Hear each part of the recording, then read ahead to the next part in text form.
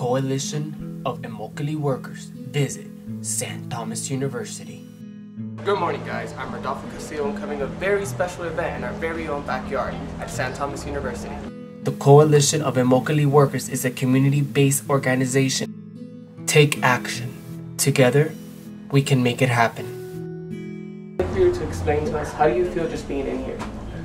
It's it's hard to it's hard to explain because I mean when you look at all the images and you look at all the cases, it's it's hard to believe this stuff really goes on. Something like this can house people. It's overwhelming in a way. They began organizing in 1993 as a small group of workers met weekly in a room to discuss how to better their community and their lives. Inspired this event today. Um, well, as you know, the university has received a grant uh, from the Department of Justice to have a human trafficking initiative.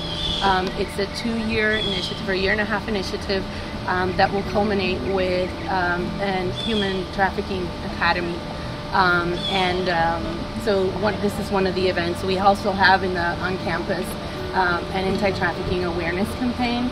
Uh, and so the uh, invitation to the Modern Day Slavery Museum from the Coalition of Immokalee Workers uh, fit in right into that, both the awareness campaign and one of the events that we're having as part of the Human Trafficking Initiative today.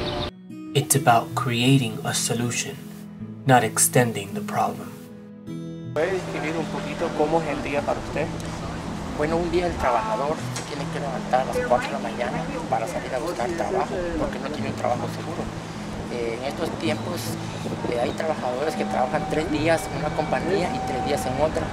Eh, prácticamente el trabajador no tiene trabajo asegurado. Por eso es que hay mucha explotación a los trabajadores, porque el trabajador no tiene voz ni voto dentro del trabajo.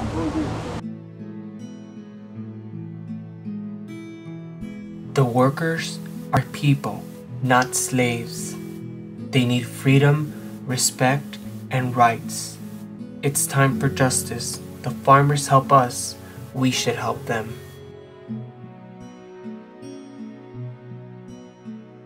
¿Cómo usted se siente sobre eso? Pues nos sentimos muy indignados, por eso estamos trabajando con nuestra campaña. Estamos llevando este mensaje a diferentes lugares, no solo en la Florida, fuera de la Florida muchos estados aquí en los Estados Unidos hemos estado con este museo y con nuestra campaña que estamos trabajando.